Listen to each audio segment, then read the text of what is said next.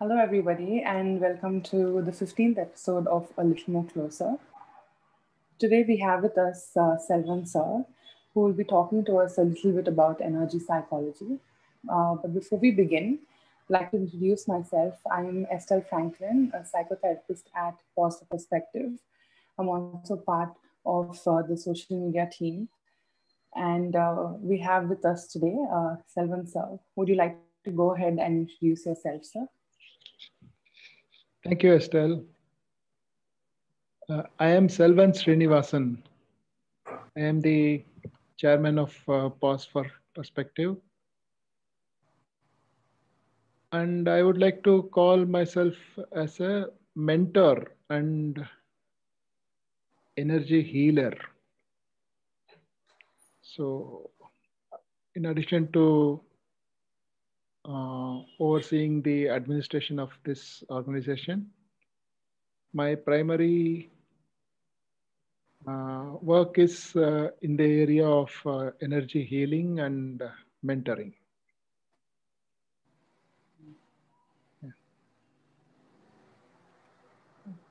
Okay, sir, thank you for introducing yourself and sharing with us.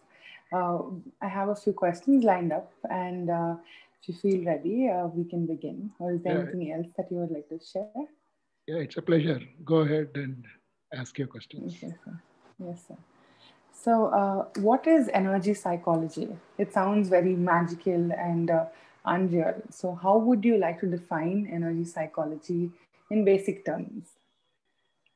So, it uh, sounds unreal because uh, you cannot see it or uh, perceive it with any of the five physical senses.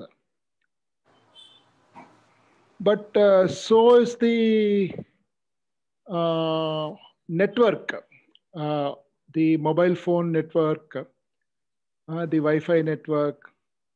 We are so used to it. so we use this uh, mobile phone and a phone call or a text or a video or a voice message just magically appears on this and it could be from somebody on the other side of the globe. And it's and we are not able to see the message when it comes okay so we know that this is connected to the Wi-Fi router, which is uh, somewhere there in the other room. And probably even now you are talking to me and uh, my device is not connected at all. But I'm able to see your face, uh, hear you, you're able to see my face. And this, this complete image, this video is traveling through air, just empty air and appears in the form of this image. Uh, is it not magical? uh, for me, it's, it's really magical. So, how is this happening? Information is available in the air around us. Okay. Uh, especially now, it is easier for me to explain this because of this uh, information age uh, the cloud computing and all that. The air around me here contains so much information. If I just uh, put a Tata Sky dish, uh, some three, 400 channels I can see live from all over the world. Uh, if I have a small uh, radio, like a car radio, I can listen to so many hundreds of uh, FM channels. Okay. Or just go onto the net, uh, go to Google. You can I can get any information I want. I can watch any video I want. Or that means all of this is available in the air around us. Okay. So similarly, the one more thing is uh, this, uh, this piece of uh, device is only the hardware. When you buy a new one, it is of no use unless you uh, put in some apps and uh, connect it to your uh, information that may be available in the cloud. Like that, the human body, the physical body that we are able to see, perceive, touch, smell, taste, hear, this is just the physical hardware. And the energy body is the software that is available in the form of uh, energy vibrations, information. Just like uh, the mobile network is uh, the information uh, connection. That information is available in the space around us. And it is the energy body. It is a physical reality, actually. In olden days, uh, they used to think uh, that it is uh, non-physical, some humans used to call it uh, aura or atma or spirit and all that. But it is actual physical reality. It is physical energy vibrations around you if you look at uh, quantum physics uh, there is no matter no everything is uh, energy if you break atoms into smaller and smaller and smaller particles atoms are made of electrons and protons and neutrons. And then if you break it, they are made of quark. An ultimate particle, actually just energy vibration, energy vibrating. So matter itself is energy. Only what we are able to see physically is denser energy and that energy body around us is uh, lighter energy. That's all. Everything is energy.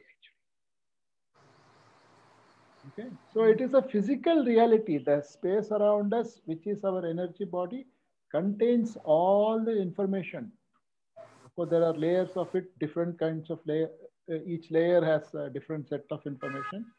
And that information is the software and our body is the hardware. I think uh, that's the yeah. explanation for the beginning. Uh, let us see what more you want to ask. Yes, sir. seems like I mean that example was, uh, you know, explained so well for us to understand how there's a hardware and there's also a software to it. That the things that we can, you know, touch, feel, sense, all of this is what is that we can actually see, but what is around us, what is in the air. And thank you, sir, for explaining to us uh, very basic terms um, moving forward, uh, I'm, I'm, trying to understand uh, what is the link between energy, psychology, and mental health? So, mental health, mental health actually uh, is a term that includes mental and emotional health. So, when you look at the energy psychology, the energy body contains five layers. The first layer is the limbic, and each layer we can call it as a mind. Uh, see, mind, uh, the basis of uh, psychology itself uh, is uh, uh, when you look at the history of psychology, in the beginning, it used to be thought that mind is in the brain. And then they used to treat all uh, mental problems by drugs only. And later on, it, could, it was understood that uh, mind is not in the brain. Okay. So when you look at it from the energy psychology point of view, mind is that entire energy body around us. That is the mind actually. The confusion came up uh, because we couldn't see it and humans as we evolved, we gave it uh, es, uh, esoteric uh, names uh, like spirit or uh, uh, atma and all that and and then it started becoming scary okay so this mind has five layers the first layer is the limbic mind. Limbic mind is what has the complete software of how the body functions the control for the functioning of the body. Right now when we are talking uh, there are millions of functions going on inside our body. Breath is happening. You're, who is breathing? How you, we are not attentive of the breath and it keeps happening. The heart is pumping, the blood is circulating, and then every cell in the body is uh, alive and working. There are cellular movements inside. So who is managing all this?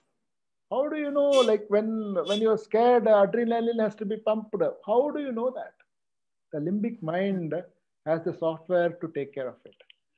Above the limbic mind is the emotional mind. This emotional mind is the energy vibrations of the emotion. And above the emotional mind is the analytical, logical thinking mind. And beyond that is the intuitive mind. And beyond that, engulfing the whole thing is the aware mind. So the mind itself has got these five different layers. And when you go into it and look at each layer and address it, it is possible to address. Then there is a balance that happens. Uh, a, uh, mental health is an imbalance in that energy body. And when, uh, when that energy body is brought back to balance, the mental health can be, the healing of the mental health begins. This is how I look at it from the energy psychology. Thank you for sharing that. So it seems like when you said that there are different layers, I was trying to understand each part of it. And what stood out to me was how we are almost always in the analytical mind. You're not very much aware of each layer and uh, just being there, being aware of what these different layers need and just addressing it. I'm, I'm just thinking of what would that do for our mental health. Yes. Um, so uh, I want to also say, see, when all the layers of the mind are in balance, they are all working. Okay. The problem is that we are so very focused in analytical mind, the logical, rational thinking mind. It's called the thinking mind. The thinking mind is about doing Okay. And so the thinking mind is a vibration on the third layer. And when this vibration is vibrating at overdrive, which is what happens usually with the people in the modern world, it jams or interferes the vibration of the other layers. Hmm. Okay, that's where block happens and the network connection is lost. What is a network connection? The network connection is an energy connection, just like a cell phone has a connection to the cell phone tower.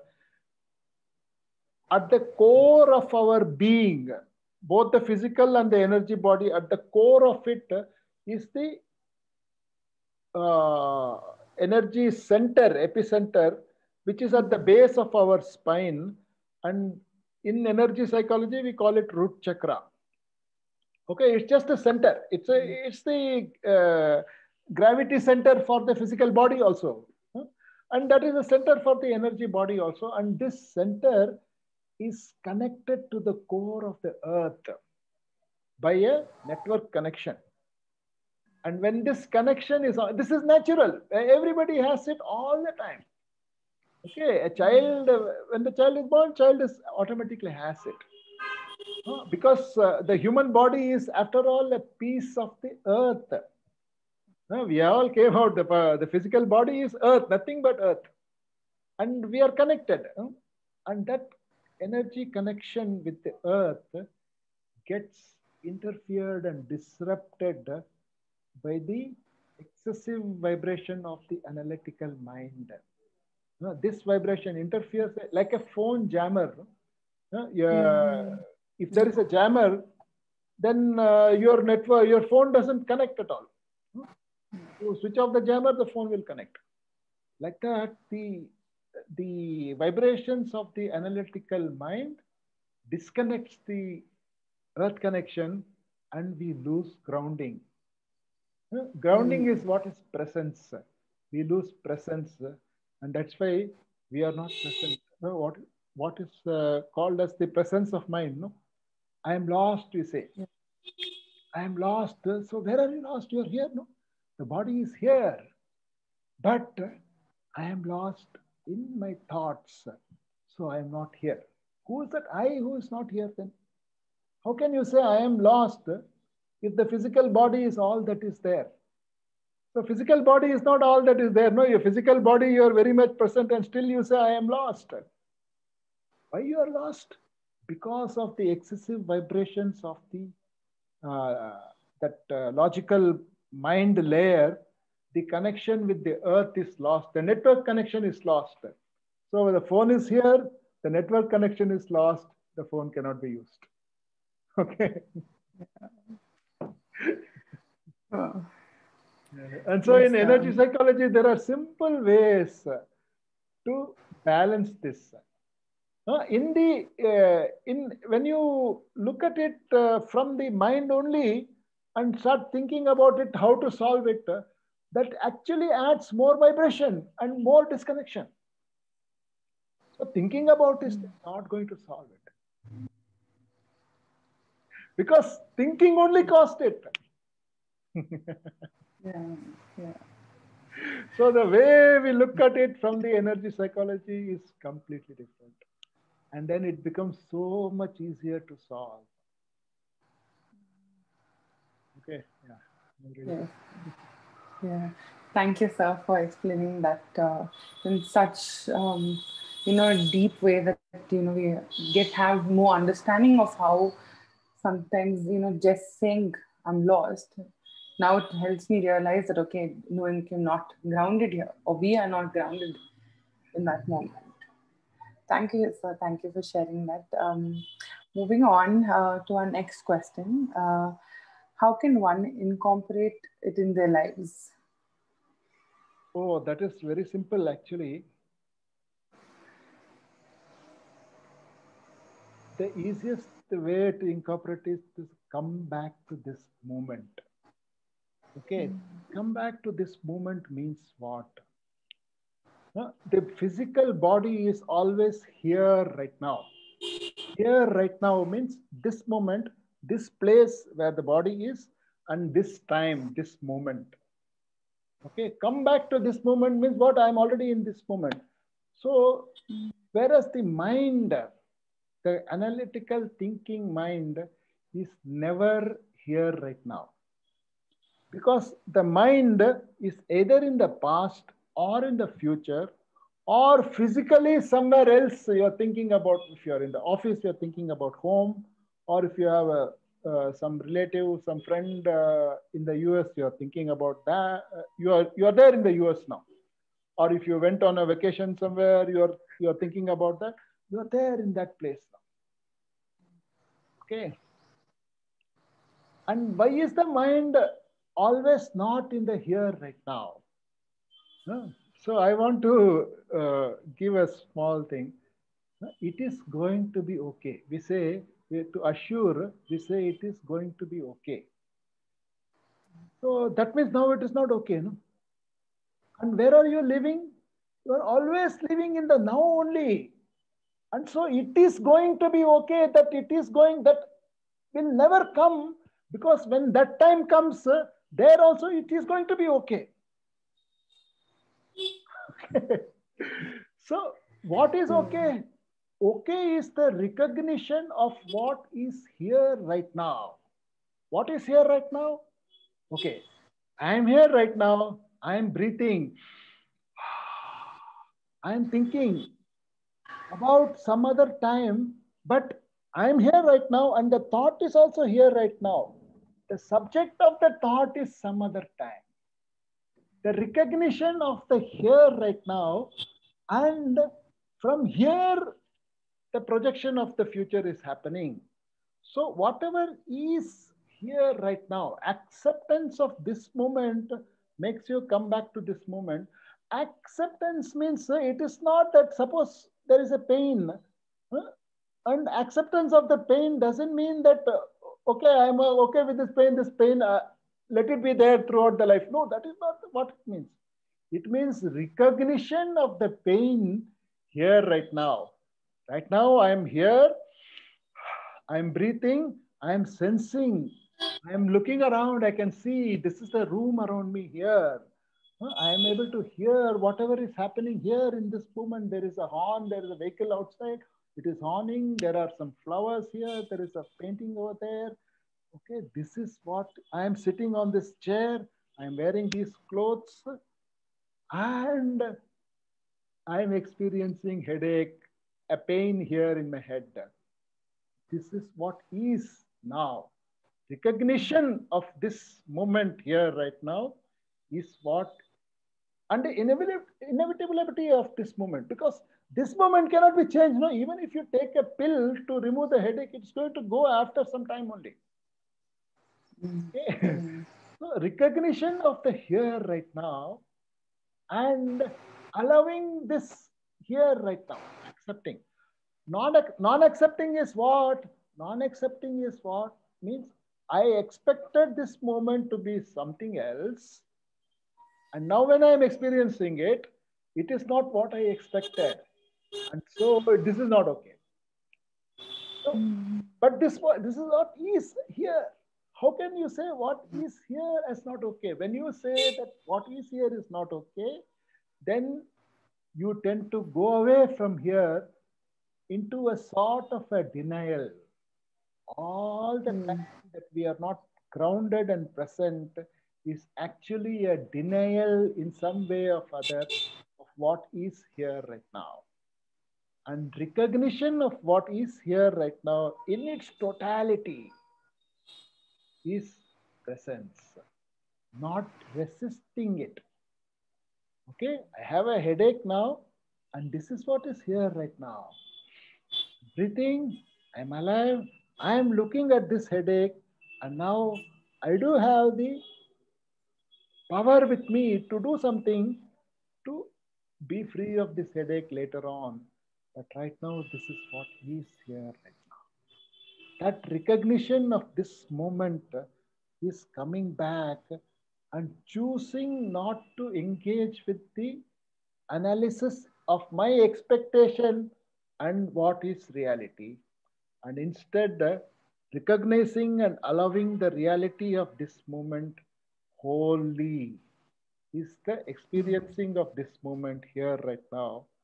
And by coming back here, a release happens, a balance happens. And you gain empowerment to change your experience for the future. When you're not here at all, you do you lose that power. You are disconnected from the earth and you lose that balance. The balance is lost, the presence is lost. And then the problem keeps So saying it is in uh, accepting what is here, what is right now, and that happens through the recognition of recognizing and choose. See, the question of accepting doesn't arise. No, right now this is what mm. uh, and this is hmm. what already is. So where is the question of accepting or rejecting? Okay, because yeah. it already is. So recognizing this and uh, and recognizing the fact that I am not accepting it only because I am engaged in the analysis of what I expected and what is. And so, in that engagement of the analysis, I go away from the here and now. I am absent here. I'm not present here. I'm not grounded here. Sometimes I'm lost. yeah. Yes, Thank you for sharing that, sir. I'm wondering how does it add to an individual's well-being?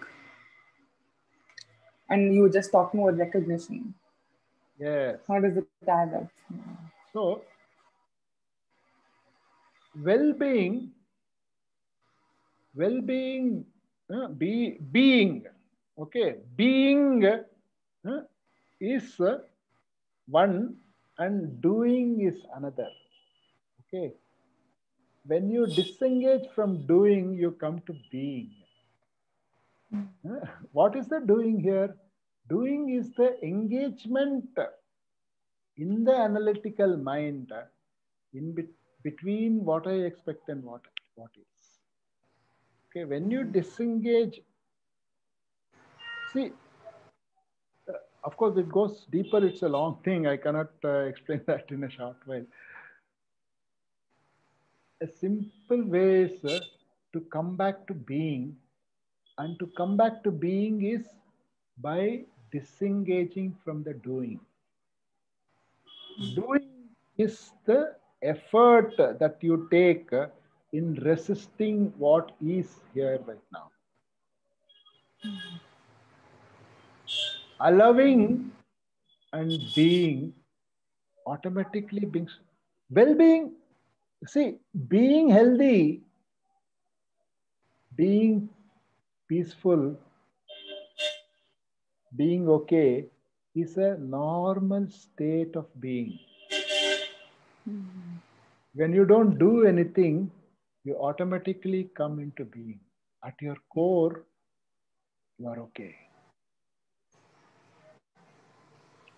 When you are grounded and present here right now, well being arises naturally because that is the core state of being. But we are all the time engaged in that thinking. Can you take a, a moment, just a moment, and breathe?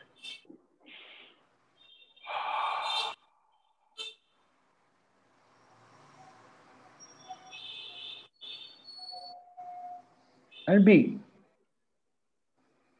Be in this moment and look at what is happening within. Okay, just just bring your attention to the palms of your hand and you'll feel some sensations happening in the palm of your hand. Don't look at, no need to look at it. Just take a breath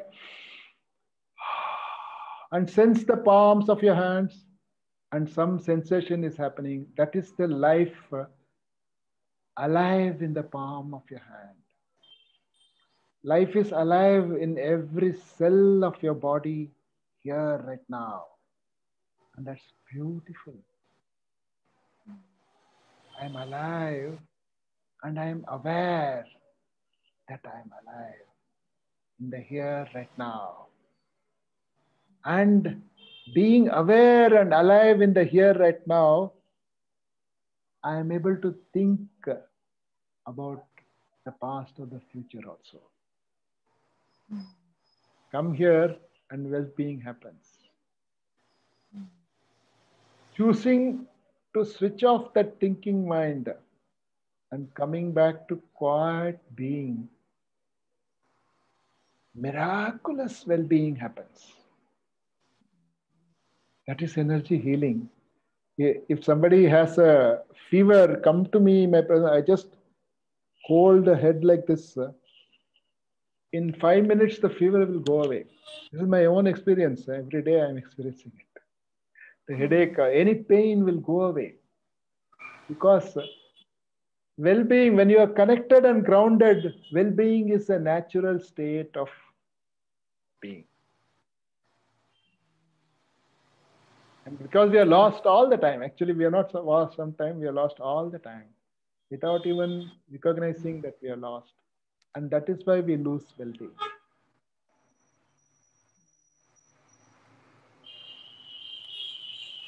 Yes, thank you for sharing. That's uh, just, I was just being as you were sharing, and just you know being here, recognizing how just that it kept taking me back to how you were sharing about how recognizing, staying here in this moment, being aware of what is, has made me think, you know, going back to the first question, and I said unreal, it's like, okay, she's making a little bit of sense to me.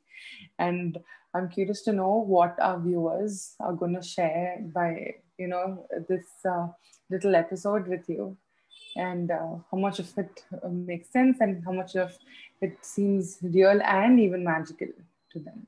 Okay. Uh, thank you for sharing, sir. Um, curious to know how was this conversation or what was it like for you to have this conversation here with us today? Oh, it is fun. It's a pleasure for me to talk about this. This is my pet subject. yeah. yeah. And seems like you couldn't share everything in the short while, and we may have to come up with uh, more episodes. And uh, let's see if our viewers would like to know more about energy healing and energy psychology. Yeah, but, see uh, on the you. website, on our Pause Perspective yeah. website, on my yeah. page, I have uh, hyperlinked several videos of my talks. Okay, you can hmm. read, and then I have written uh, some 27 blog articles on my blog. Uh, you can just go to my blog in the uh, blog uh, page and read. A lot of things I have written and lot of things I have spoken also. And uh, also I run a daily guided uh, meditation practice three times every day. It's been now seven months without a single day break at six o'clock, uh, 6.30 in the morning, one o'clock in the afternoon and seven o'clock in the evening. 15 minutes of daily meditation. I personally guide these sessions every day. Uh, and uh, the fees is very, very nominal. You can come and join and see for a for a for a month maybe and see how we experience it also read a lot, all that I have written about this. And it will be, of course, a pleasure to me to talk about it. Anybody can come and ask me questions. And I, so all of you have heard, sir is very welcoming and uh, he would love to talk about energy healing, energy psychology. Uh, please go through the articles on our blog and thank you for watching. Uh, we look forward to hearing what uh, our viewers are going to share. Thank you. Thank you, sir, for thank taking out this time. Thank, thank you, you and bye-bye. Bye, sir.